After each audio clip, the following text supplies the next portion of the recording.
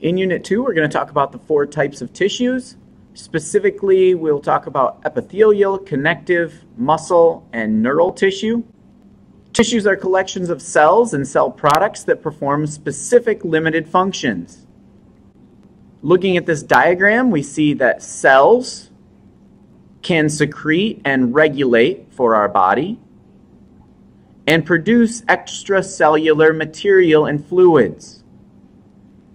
Cells combine to form tissues with special functions. Tissues combine to form organs, and organs have multiple functions. And organs interact in the organ systems. If we look at the specific four types of tissue, starting with epithelia, Epithelia is responsible for covering exposed surfaces. It also lines internal passageways and chambers, and it produces glandular secretions. Connective tissue fills the internal spaces of your body. It provides structural support, and it also stores energy. Muscular tissue is responsible for contracting to produce active movements, and neural tissue conducts electrical impulses so it carries information.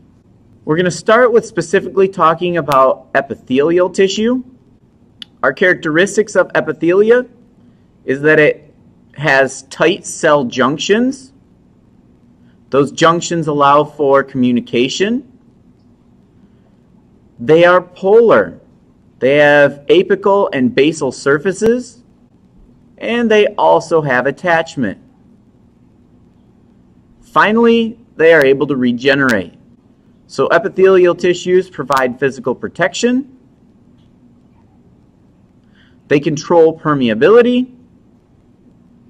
They produce specialized secretions. We call these glandular epithelium. Epithelial cells also support and communicate. CAMs, cell adhesion molecules. These are responsible for allowing material to transport or be transported between cells. Transmembrane proteins are structures that span the width of the biological membrane, and they often function as a gateway for the transport of substances between cells. Our um, cells also have intercellular cement. Proteoglycans are materials that fill the spaces between cells. They act as a glue substance. Hyaluronan is a fluid that is secreted by the cell and it provides compression strength. Glycosaminoglycans have a primary role to maintain and support collagen. So they help the elastin and the turgidity in cellular spaces. Our cells also have cell junctions. There are three major types of cell junctions, tight junctions, gap junctions, and desmosomes. As we've already heard this week, epithelium plays a role in lining different parts of the body. For the epithelial cells that make up your skin, this means keeping the contents of your body on the inside and separated from the rest of the world on the outside. So separating the inside of your body from the outside of your body or separating one different environment from another different environment is a very important function of an epithelial cell, but it can't do it alone. To form an effective barrier, lots of epithelial cells need to form a barricade with no gaps between the cells. Cell junctions are found between adjacent epithelial cells and like the name suggests, make sure that these cells are tightly adhered to one another. There are three main types of cell junctions that we're going to be talking about today. Tight junctions, as the name suggests, which firmly adhere adjacent cells to one another. Desmosomes, which further strengthen these tight junctions and are resistant to stretching and twisting. And gap junctions, or these are junctions which are called communication junctions, allowing adjacent cells to talk to one another. Now, just like its name suggests, tight junctions tightly connect adjacent epithelial cells to each other. This is achieved by fusing the plasmalemma of adjacent epithelial cells, which form an impenetrable barrier.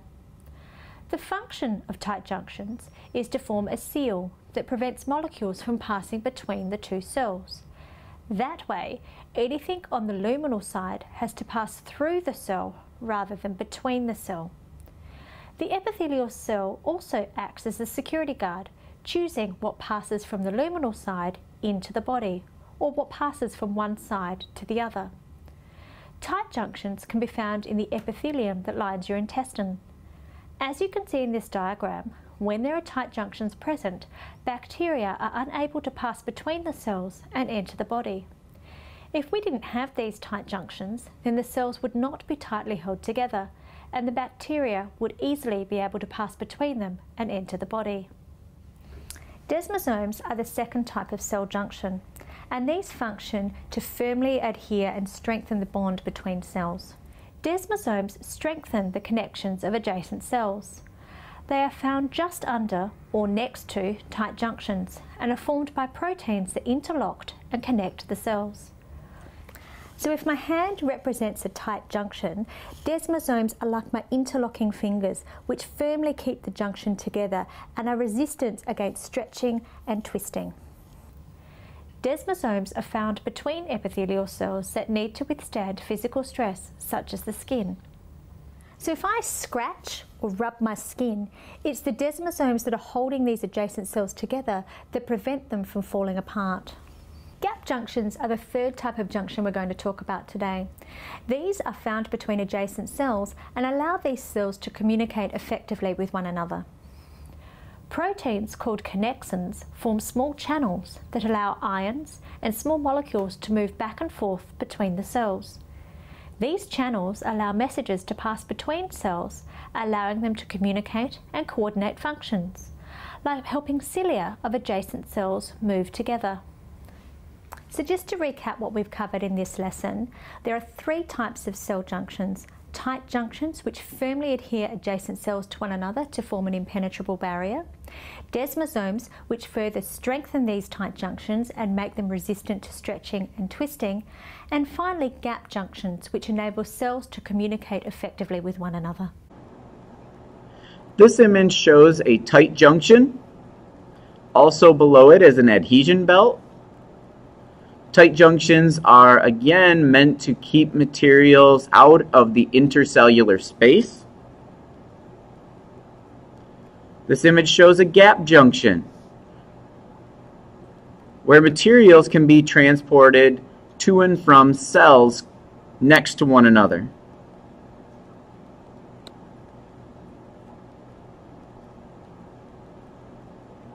This image shows a desmosome there are two types of desmosomes, a spot desmosome and a hemidesmosome.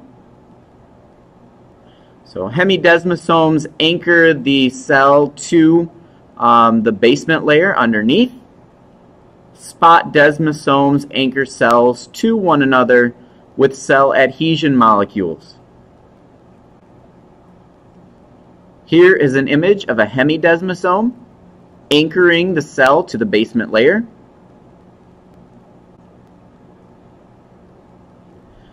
On the surface of, of epithelial cells, we will find microvilli and cilia.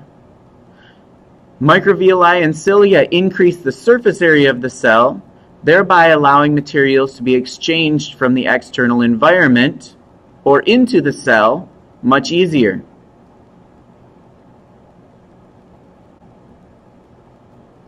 Epithelial cells are replaced by division of stem cells and typically this occurs near the basal layer. In order to classify epithelial cells, we need to look at the shape and the number of layers. There are two types of epithelium, singular epithelium and plural epithelia.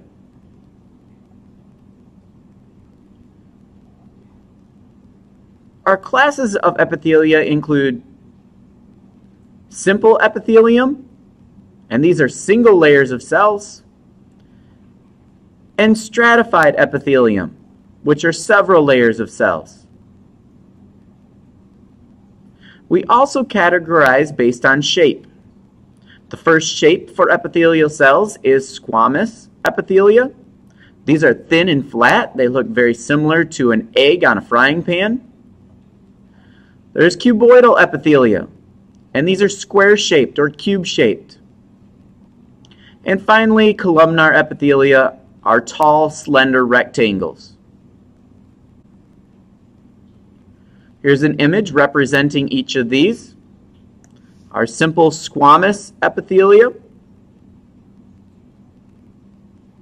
simple cuboidal epithelium, and simple columnar epithelium. All three of these different types of epithelia are simple because there's only one layer. Our stratified epithelia still includes squamous, cuboidal, and columnar, but they occur in layers. You will notice at the surface, we can see the squamous cells very distinctly. In stratified cuboidal epithelium, they're stacked one on top of one another, all retaining the cuboidal shape. And in stratified columnar epithelium, we'll notice the surface layer is very columnar in shape. The underlying layers may be similar to cubes.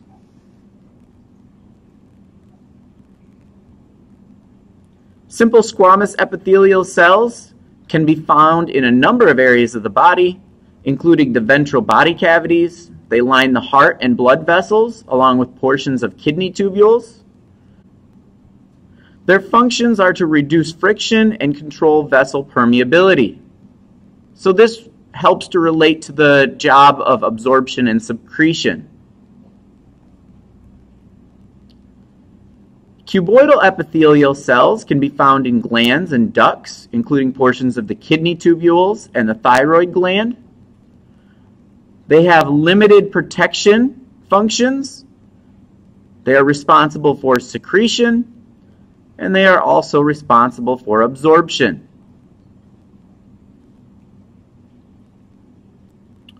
Our simple columnar epithelial a lot of times will contain microvilli along the top.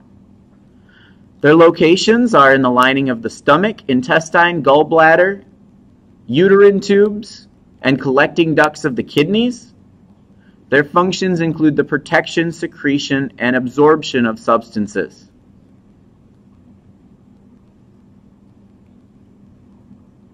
We also have stratified squamous epithelium. Their locations are at the surface of the skin. They line the mouth, throat, esophagus, rectum, anus, and vagina. Notice we can see in the stratified layer, the top layer is very squamous in shape. The stem cells would be found at the basement membrane, and these cells would replace any damaged or lost cells at the surface. They provide protection against abrasion, pathogens, and chemical attack. Pseudostratified ciliated columnar epithelium cells usually have cilia along the top. They are found lining the nasal cavity, the trachea, and the bronchi, and portions of the male reproductive tract. Their functions are protection and secretion. Transitional epithelium can be found in the urinary bladder. It can be found in the renal pelvis of the kidneys and the ureters. Its function is to permit expansion and recoil after stretching. So in this image, we see two states, the relaxed state and the full state or stretch state of the bladder. In the relaxed state, the epithelial tissue may look very cuboidal. In the stretched state, the surface epithelium may look very squamous in shape.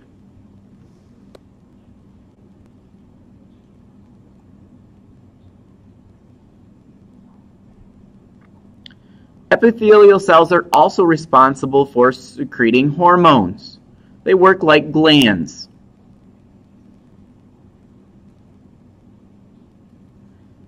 Exocrine glands They produce secretions onto epithelial surfaces, and this usually occurs through ducts.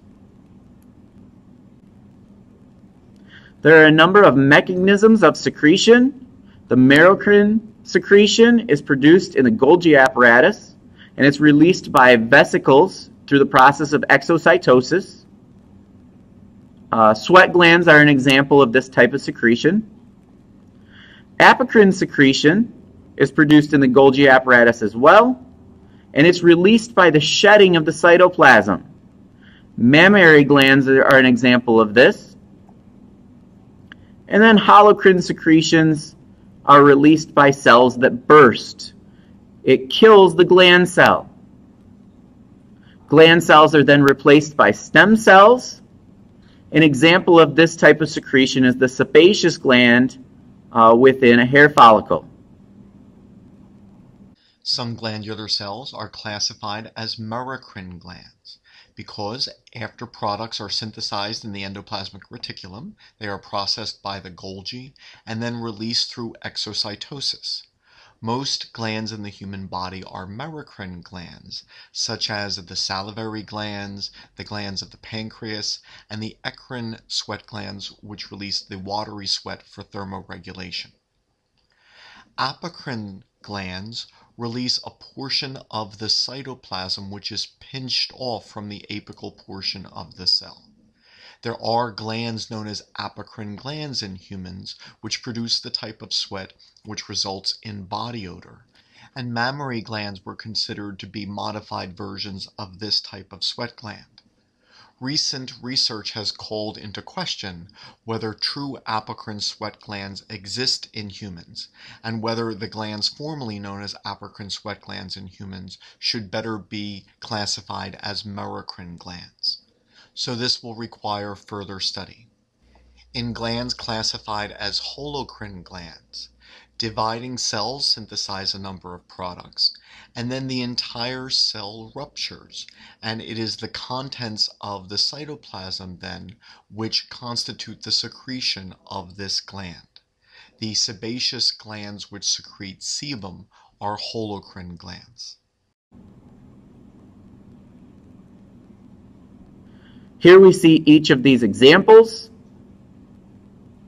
The merocrine secretion, the apocrine secretion, and the holocrine secretion. We can see the step-by-step -step process that is responsible for the releasing of different materials in each of these images A, B, and C.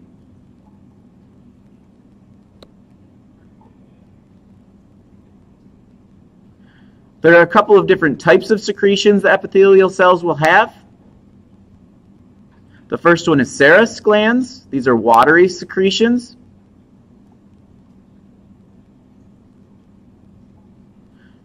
The second is mucosous glands. These secrete mucins. And then we have mixed exocrine glands that will release both.